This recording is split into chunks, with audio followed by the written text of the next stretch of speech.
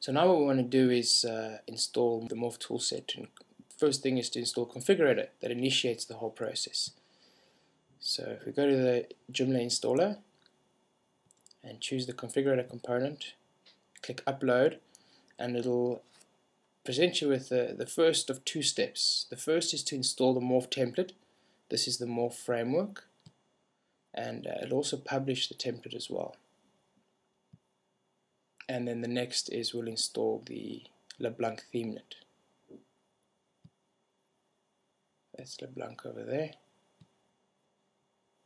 And that's installed.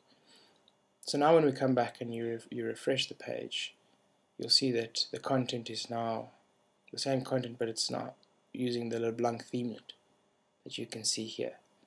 So obviously this is very different from the actual demo that I showed you in the beginning. You can see it's LeBlanc, but the layout and the content is not as finished and not as polished as this.